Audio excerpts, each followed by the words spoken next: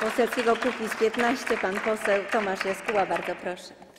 E, Bardzo dziękuję Pani Marszałek, Wysoka Izbo, e, Szanowni Państwo na galerii. Na początek gratuluję. 150 tysięcy to bardzo duże osiągnięcie. E, Prostuję. To trzeci projekt obywatelski wniesiony, Szanowni koledzy i koleżanki. Jeden jeszcze nie procedowany, jeden już procedowany, więc to jest trzeci projekt obywatelski. Mm, Prezentuję dzisiaj stanowisko klubu e, Kukiz 15 w sprawie obywatelskiego projektu zmian w ustawie o systemie oświaty dotyczącego nauczania religii w szkołach publicznych i sposobu finansowania. I muszę Państwu powiedzieć, że znowu socjaliści wierzący i socjaliści niewierzący, nawet jeśli e, wywodzą się z obywateli, wiedzą lepiej niż rodzice. My proponujemy koncyliacyjne wyjście, mianowicie wygląda ono tak. Zanim do niego przejdę, pokażę e, dość problematyczne tezy, które się pojawiły w uzasadnieniu. Przyznam, e, że są dość niespójne i tutaj e, trzeba byłoby to uzasadnienie, no szczerze mówiąc, trochę poprawić, bo tak, w uzasadnieniu mamy coś takiego, o konstytucyjnej zasadzie rozdziału Kościoła od państwa i powoływanie się na tą zasadę. Szanowny, szanowni Państwo, otóż w Polsce nie obowiązuje zasada rozdziału Kościoła od państwa, tylko zasada autonomii. Reguluje to artykuł 25 Konstytucji, ustęp 3. Ja pozwolę sobie go zacytować. Stosunki między państwem a kościołami i innymi związki, związkami wyznaniowymi są kształtowane na zasadach poszanowania ich autonomii oraz wzajemnej niezależności każdego w swoim zakresie, jak również współdziałania dla dobra człowieka i dobra wspólnego.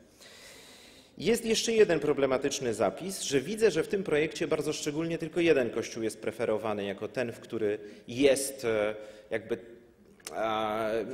to zainteresowanie skierowane wobec jednego kościoła. Niewątpliwie Kościoła rzymskokatolickiego.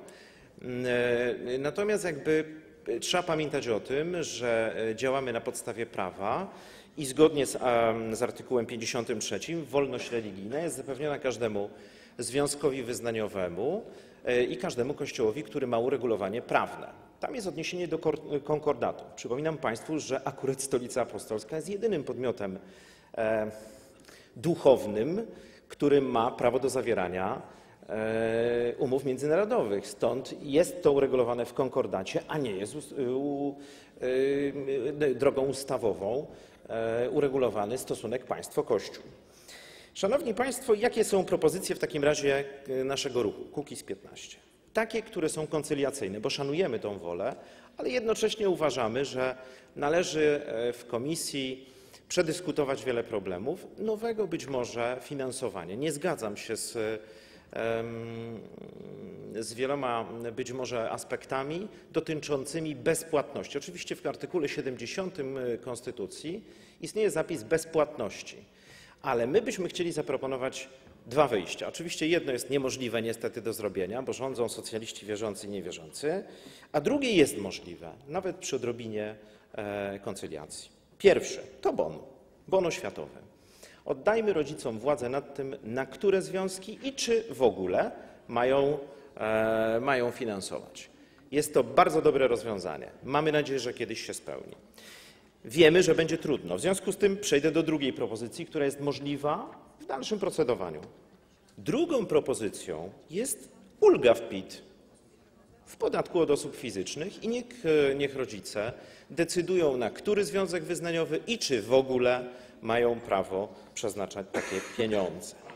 Dzisiaj oczywiście mamy sytuację finansowania lekcji religii lub etyki przez państwo i samorządy. Proszę na to zwrócić uwagę. Ja akurat, ja akurat e, jestem posłem częstochowskim e, i ta kwestia zgłoszenia się do e, samorządu częstochowskiego mm, tak zwanej Ligi Muzułmańskiej o nauczanie religii islamskiej mnie bezpośrednio w jakiś sposób dotyczy. Tłumaczę osobom, że oczywiście ma do tego prawo, tylko proszę zwrócić uwagę, czym, a raczej jakie osoby stoją za Ligą Muzułmańską, to po pierwsze, a po drugie, jednak należy zwrócić uwagę na pewien aspekt, e, że Francuzi też finansowali e, budowę e, meczetów, e, w których uczono nienawiści wobec podstawowych wartości e, europejskich, jak wolność, tolerancja i prawo. Dlatego, reasumując, klub Kukiz 15, szanujący wolę obywateli, ale szanujący też stan i porządek, który istnieje, bo on nie jest wcale aż tak wielkim zagrożeniem.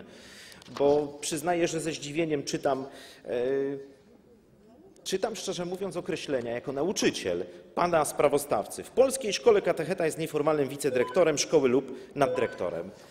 To nieprawda, jestem nauczycielem, nie wiem kiedy pan ostatni raz był w szkole. E, Chciałbym podkreślić e, jedną rzecz, że prosimy bardzo o skierowanie tego projektu do procedowania do odpowiednich komisji. Nie przeszkadza nam, wnioskujemy również o wysłuchanie publiczne, szanując wolę obywateli. Bardzo dziękuję. Dziękuję bardzo. W imieniu Klubu Poselskiego Nowoczesna